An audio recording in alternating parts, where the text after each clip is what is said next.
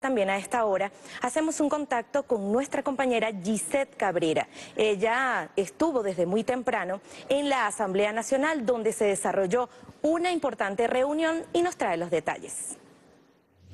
Así establecemos contacto desde el Palacio Federal Legislativo, donde acaba de culminar una reunión de la Comisión Consultiva, instancia que convoca y preside el presidente de la Asamblea Nacional, doctor Jorge Rodríguez. De inmediato escucharemos declaraciones de la segunda vicepresidenta de la Asamblea Nacional, de la primera vicepresidenta de la Asamblea Nacional, doctora Iris Varela, quien dará detalles de las autoridades que dirigirán las comisiones permanentes y especiales durante el año 2022, además de los instrumentos jurídicos de los cuales estarán priorizados en la agenda legislativa del presente año. Escuchemos.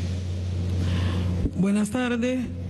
Acabamos de concluir eh, una importante reunión de la comisión consultiva prevista, contemplada en el Reglamento Interior y de Debates de la Asamblea Nacional en sus artículos 36 y 37, con el propósito de revisar lo que es la designación y funcionamiento de las comisiones permanentes de esta Asamblea Nacional y este, también acordar sobre la agenda legislativa que nos acompañará este año 2022. Al respecto, debemos informar que eh, el Poder Legislativo cuenta con 18 leyes que están en primera discusión. Algunas de ellas ya tienen, fueron, aprobadas en primera discusión y algunas de ellas ya tienen su informe para segunda discusión. Eh, se acordó darle prioridad a esas leyes, a ese conjunto de 18 leyes.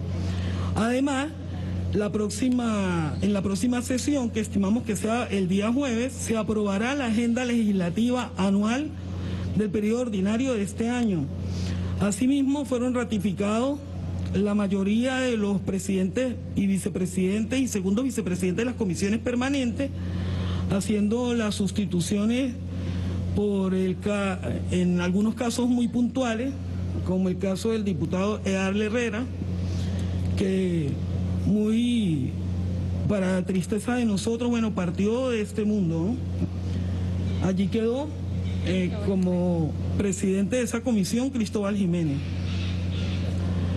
También este, podemos informar que eh, en aras de la mejor coordinación para el estudio de los proyectos de leyes que vienen por iniciativa del Ejecutivo, siempre la Junta Directiva coordina con, el, con la Vicepresidenta Ejecutiva de la República eh, toda esa materia legal, pero se adoptó la decisión de que eh, cuando se trate de analizar un proyecto de ley ya en discusión por el Parlamento, se incorpora a, esa, a la Junta Directiva para esa coordinación con el Ejecutivo el presidente o presidenta de la comisión permanente que está estudiando el proyecto de ley respectivo.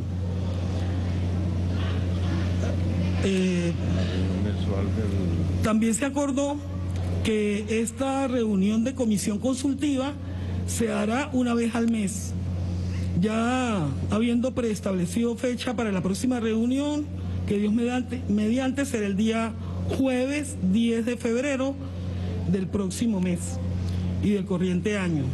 Creo que es todo lo que podemos informar de las discusiones que se dieron en esta reunión. Gracias. Presidenta de la Asamblea Nacional, diputada Iris Varela, quien hacía un resumen de lo que fue la reunión consultiva que acaba de finalizar acá en el hemiciclo protocolar del Palacio Federal Legislativo. Importantes decisiones se han tomado y que tienen impacto en el trabajo que va a desarrollar el Parlamento venezolano durante el año 2022.